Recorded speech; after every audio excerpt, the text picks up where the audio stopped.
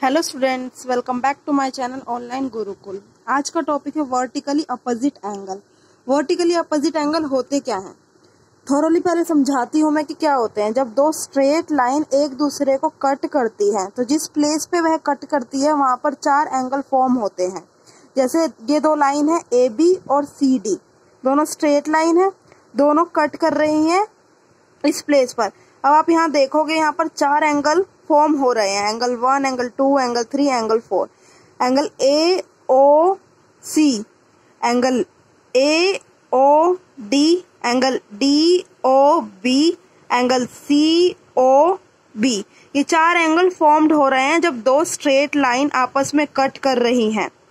तो जब यहाँ पर ये कट कर रही है, यहाँ पर दो पेयर ऑफ़ अपोजिट एंगल बनेंगे two pairs of opposite angle अब यहाँ पर आप देखोगे वन और टू अपोजिट एंगल है एक दूसरे के थ्री और फोर अपोजिट एंगल है एक दूसरे के।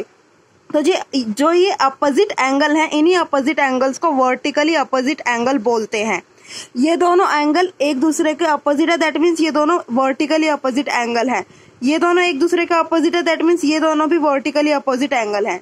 क्या कंक्लूजन निकला इससे कि एंगल वन और angle two vertically opposite angle है एंगल थ्री और angle four vertically opposite angle है। इसको एक तरीके से आप और समझ सकते हैं। जैसे कि ये जब ये कट रही है तो एक डमरू की शेप बन रही है, आप देख रहे होंगे।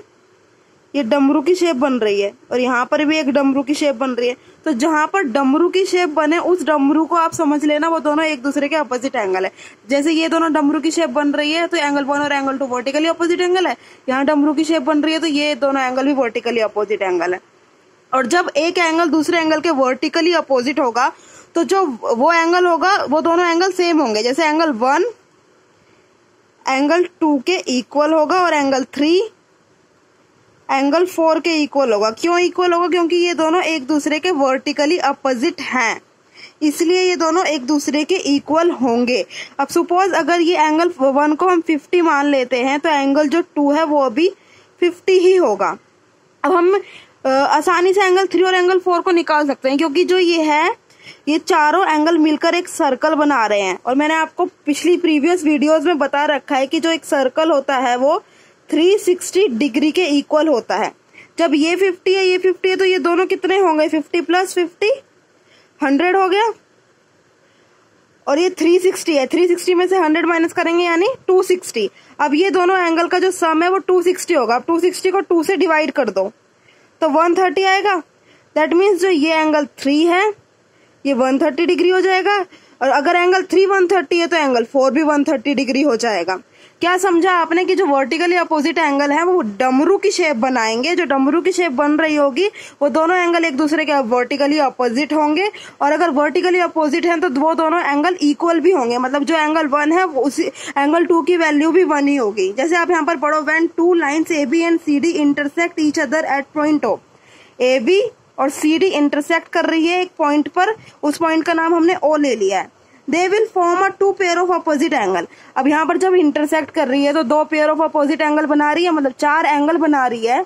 चार एंगल बन रहे हैं, लेकिन जो अपोजिट एंगल है, दो अपोजिट एंगल ये हो गए, दो अपोजिट एंगल ये हो गए तो टू पेयर ये एक पेयर हो गया और ये दो पेयर हो गए, यानी दो पेयर ऑफ़ अपोजिट एंगल बना रही है। एओडी बीओसी के साथ एओडी बीओसी के साथ, और दूसरा जो बन रहा है एओसी बी और डी के साथ। और ये दोनों जब बन रहे हैं तो ये डमरू की शेप बन रही है, यानी ये वर्टिकली अपोजिट एंगल है। और वर्टिकली अपोजिट एंगल है तो वो एक दूसरे के इक्वल भी है। थैंक यू गाइस अगर आपको ये वीडियो समझ आई हो तो मेरे चैनल को सब्सक्राइब करें लाइक करें और अपने फ्रेंड्स के साथ शेयर करें।